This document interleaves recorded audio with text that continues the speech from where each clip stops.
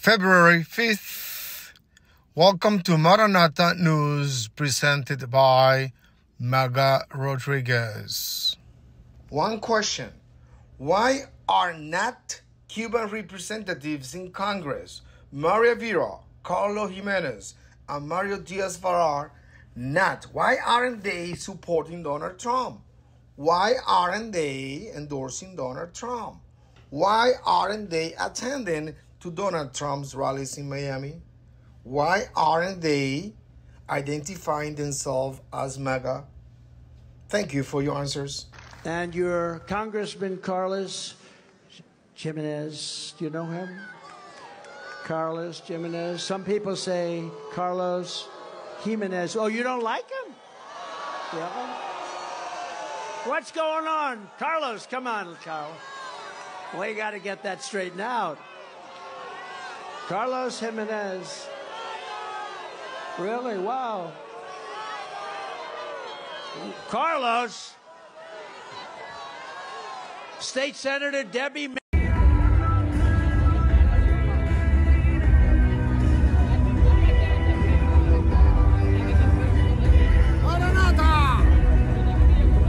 taking bribes and kickbacks to enrich themselves and their very spoiled children. My children are so spoiled, aren't? Rigging and cheating in elections, using the fake news media to cover up their colossal incompetence and stupidity, what they're doing, what they've done.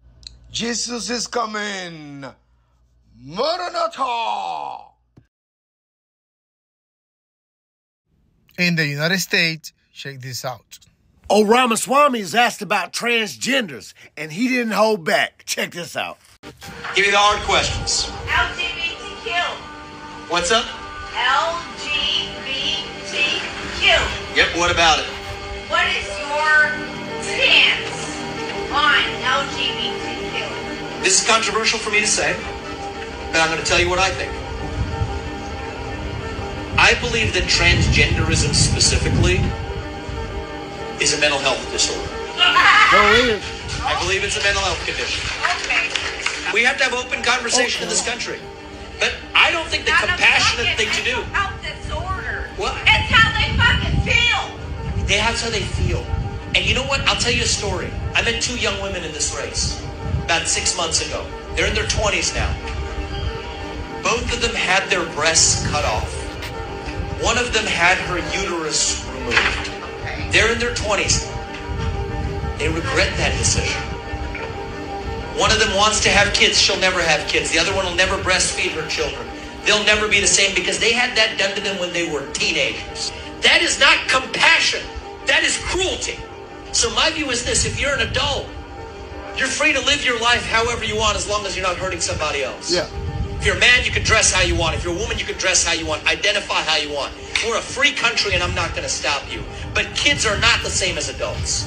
And we have to protect our children. Que el Señor reprenda en Cuba a todas las autoridades del partido terrorista cubano por matar, robar, En destruir principio a fui puta, ¿qué te puedo decir?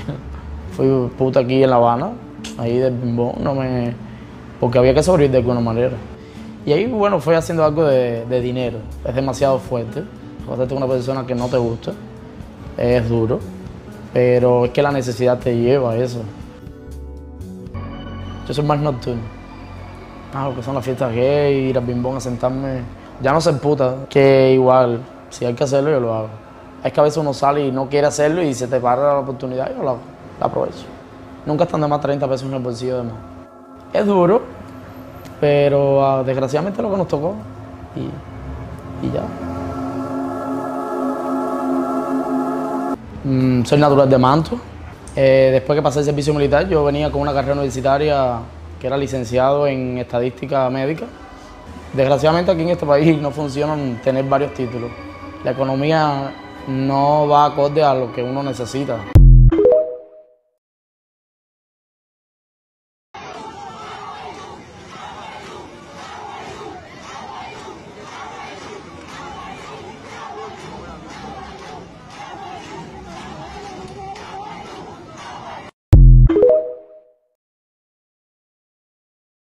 Dedicáis a ello? Dos años. Dos Yo hace un año. Yo.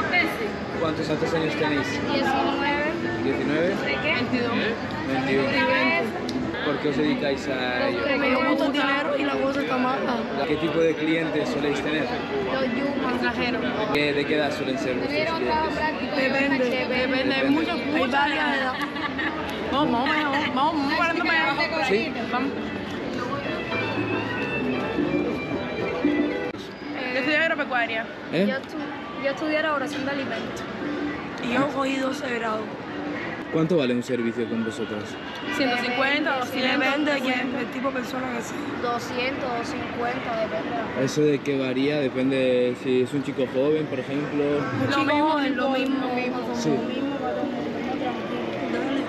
Si es un chico joven, lo mismo, ¿no? Que, por ejemplo, si es un chico mayor o si para... ¿Alguna situación rara con la que os hayáis encontrado alguna vez? Sí, con muchas, muchas. ¿O un, un ejemplo, por ejemplo? Por ejemplo, como que no nos han querido dar el dinero y nos han dado golpes y cosas así.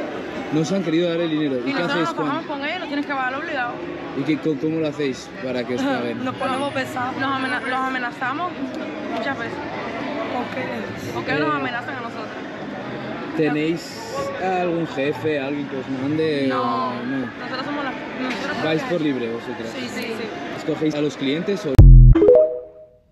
En Venezuela, el dictador Maduro va para atrás como el cangrejo. Yo deseo que a Maduro lo atrape en una madrugada Junto al capo narcotraficante Diosdado Cabello Mirarlos en la tele esposados con bragas naranja Y la justicia persiguiendo a los que robaban con ellos esos son mis deseos para el año que viene, que caiga la izquierda y su plan de aplastarnos a todos. Que los ignorantes dejen de votar estas mierdas para ver si al fin logran abrir los ojos. Los ojos.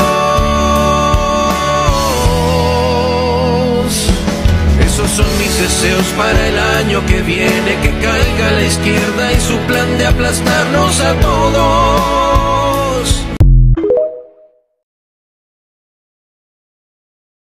Televidentes, muy buenas noches. Sean todos bienvenidos a la emisión estelar de Noticias TVB. Yo soy Luis Miguel Núñez. Comenzamos. El portal Primer Informe aseguró este domingo que autoridades de Aruba y Estados Unidos decomisaron una avioneta con 932 kilos de oro de alta pureza provenientes de Venezuela. El avión de carga ligera usaba siglas norteamericanas falsas. Según el portal informativo Primer Informe, la avioneta había despegado desde una carretera solitaria en las afueras de Ciudad Bolívar, al sur de Venezuela, y aterrizó de emergencia en el aeropuerto Reina Beatriz de la isla caribeña, para posteriormente ser abordada por investigadores aeronáuticos al descubrir que el aparato viajaba usando unas siglas estadounidenses en desuso. Los funcionarios, al revisar la carga, encontraron 932 kilos de oro de alta pureza, casi una tonelada, empaquetados en maletas de lujo. En el procedimiento fueron detenidos el piloto y dos tripulantes de nacionalidad venezolana. En la operación participaron agentes federales norteamericanos destacados en la isla. El cargamento tendría un valor en el mercado internacional de 50 millones de dólares americanos. Los tripulantes fueron interrogados y están en proceso de ser extraditados a Estados Unidos, donde enfrentarán cargos criminales. El avión, con una sobrecarga importante, tendría como destino México. Según el piloto, la carga iba a ser transferida a otro avión de mayor envergadura para ser dirigido a un país árabe, posiblemente a Dubái. Los investigadores están tratando de establecer si este oro está asociado a altos dirigentes del régimen de Maduro. Precisamente, el exgobernador del estado Bolívar y miembro del partido político Causa R, Andrés Velázquez, denunció que el régimen no solo trafica oro desde Venezuela, sino también drogas y divisas para mantenerse en el poder. Mientras que la abogada experta en temas militares y defensora de los derechos humanos, Rocío San Miguel, ironizó que mientras las Fuerzas Armadas al mando de Maduro realizan supuestos ejercicios militares, una avioneta cargada de oro recorre el país con siglas falsas sin ser detectada. Estados Unidos mantienen operaciones de inteligencia en Aruba y Curazao para combatir el contrabando de oro y drogas procedentes de Venezuela, con el que se estaría financiando el régimen de Nicolás Maduro. ¿Sabes bailar? Miren esa bailarina, mi verso aquí no peca. Hoy se vino a pasear y no sale las discotecas. Para adelante y para atrás, verla bailar me sorprende. ¿A usted le gusta bailar? Sí. Entonces, ¿por qué no aprende? No mentiras que baila muy bien, bueno. La mona baila muy bueno, miremosla por aquí, gracias por esa energía. Observela cómo baila, así es la mujer bella de la tierra mía. Ella lo bate y lo mueve, miremosla cómo lo hace, no la había visto más. Y la está mirando mucho, me la está mirando mucho, ese frente un día atrás. Y también para el abuelo, que es el abuelo más ja, ahí se ríe y serio mientras se come el pastel. Yo sé usted por qué está así. Los recuerdos son geniales. De joven a ver pollitas, ahora a ver animales. Síguenos, Maranata News. Uno todo el tiempo haciendo videos, haciendo contenido para que usted se entretenga y usted es incapaz de seguirme. ¿Usted qué quiere? ¿Usted se quiere buscar un problema así berraco, berraco, berraco conmigo? Palabras clave que no puedo decir porque mi perra está cerca. Como ya les he comentado, esta está prohibida. La, la entiendo porque a muchos perros les pasa. La entiendo porque a ella le gusta mucho ir afuera, ¿no? Ir fuera, al ir a- al asfalto. Esta también la entiendo porque es lo que a ella le gusta. El, ¿Sabes lo que te digo? No, me estás entendiendo, ¿no? La, la eliminamos. Ala, me estás quitando vocabulario. Pero es que ahora tengo un problema con esto. Desde que escucha esto, la locura, que es el principio de la frase. Yo ahora a Laura no le puedo decir ir a cenar conmigo, no, tengo que decirle, ¿te gustaría ir a cenar conmigo? Yo por mi perra he tenido que modificar mi vocabulario. Ella piensa, con esto me puede dar esto y esto, pues me pongo a ladrar. Yo espero que esta lista no siga, porque ella es muy lista y va a aprender más palabras. Me estás quitando palabras. Y mucha gente que esté viendo el vídeo dirá, uy, qué exagerado, no será para tanto. ¿Que no será para tanto? Venga, me voy preparando. Risa. ¿Quieres? No he dicho nada. Solo he dicho quieres. Pero solo he dicho quieres. No quieres. No he soltado ninguna palabra por mi boca. Quieres. No. Quieres. Quieres. Tengo un problema. Que voy. Voy, a terminar el vídeo. Por favor, ayuda. Un momento. Voy a terminar. Un segundo. Ayuda. Un gallo que entiende y obedece tiernamente. Paco, voy a comprar un té. Te escondes abajo del volante, ¿eh? No quiero que te miren en el carro. Escóndete, Paco.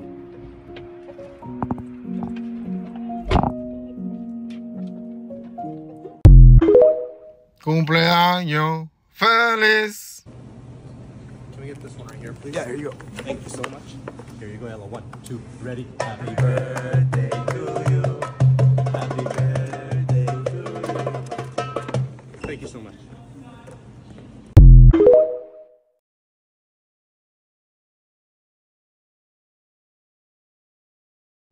Reflexionemos bíblicamente. Silence, my friend. Silence is your master. Whatever happens, never lose your calm. God is on our side.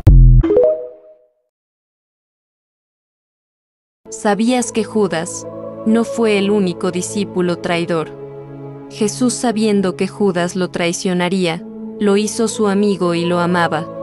Judas le confió la administración de los pocos recursos que tenían, y la palabra de Dios nos dice que Judas robaba y Jesús sabía.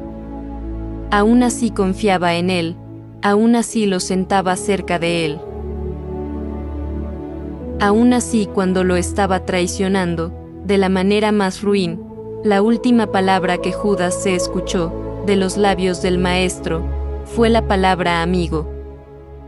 Y aún así, Judas prefirió terminar con su propia vida antes que pedirle perdón. Pedro también traicionó a Jesús, y lo hizo tres veces, y Pedro lloró amargamente, lleno de remordimiento, pero a diferencia de Judas, Pedro corrió a la fuente de amor y misericordia a pedir perdón y a cambiar su manera de vivir. Dos traidores, uno terminó sus días bajo maldición, y el otro se convertiría en apóstol, y extendería el Evangelio por el mundo entero. A nosotros también nos mantiene cerca, a pesar de que le hemos fallado, y también nosotros lo hemos negado. ¿Y tú quién eres, Judas o Pedro?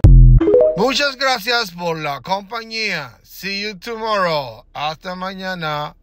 Maranatha!